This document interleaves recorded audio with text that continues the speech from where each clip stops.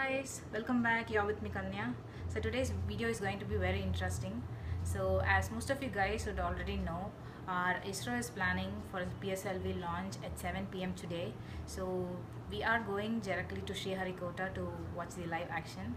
And uh, so this would be my second time uh, to witness a live rocket launch, and I'm very excited.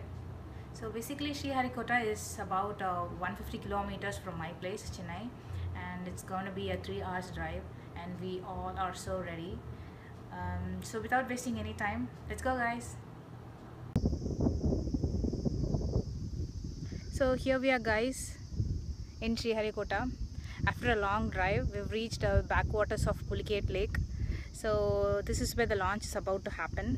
So we've reached uh, 30 minutes earlier so we're very happy about that.